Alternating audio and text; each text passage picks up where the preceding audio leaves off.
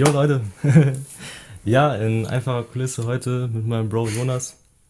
Ja, wir haben gerade schon ein Video abgedreht, das, äh, ja, erzähle ich nachher nochmal was kurz drüber. Ähm, genau, ich wollte einfach mal ähm, grob ein paar Erläuterungen zu meinem äh, neuesten Musikvideo raushauen, dass ihr vielleicht ungefähr so die Message davon versteht, finde ich immer ganz interessant.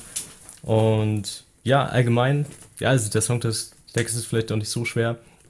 Ähm, Geht es mir einfach darum, ähm, ja, auch mal zu, ja, so zu signalisieren oder einfach äh, zu zeigen, wenn es einem mal schlecht geht, so. Ja, da geht es ja auch oft drum, ähm, ja, im Leben die Downs sozusagen, die negativen Phasen äh, zu durchleben.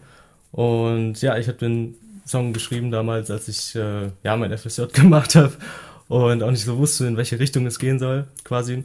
Allgemein, ja, geht es in dem Song einfach darum, auch mal Abstand zu gewinnen, was ich eigentlich immer wichtig finde. Ähm, auch mal wieder, ähm, ja, die einfachen Dinge so im Leben zu schätzen und ähm, ja, was einen dann auch wieder ein Stück weit glücklicher machen kann, äh, wenn man ein bisschen rauszoomt.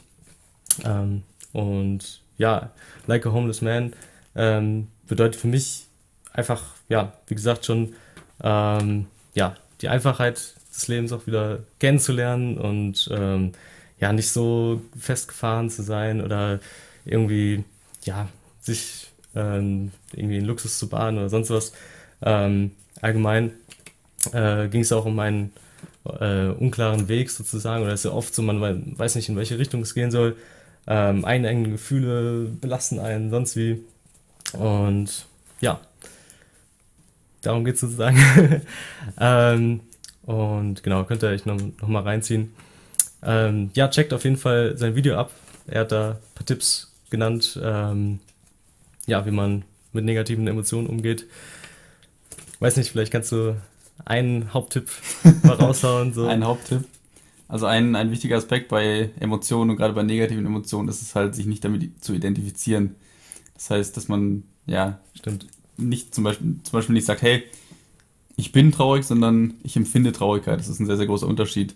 Und gerade Meditation hilft halt dabei, ja, sich ein bisschen so von seinen Gefühlen zu distanzieren und ja, einfach so den Blick von oben zu bekommen, wie du es schon gesagt hast, einfach so ein bisschen rauszuzoomen, mal von oben auf die ganze Sache zu schauen. Also Meditation ist auf jeden Fall ja ein sehr, sehr wichtiger Aspekt, der dabei hilft. Genau, den Rest gibt's im Video.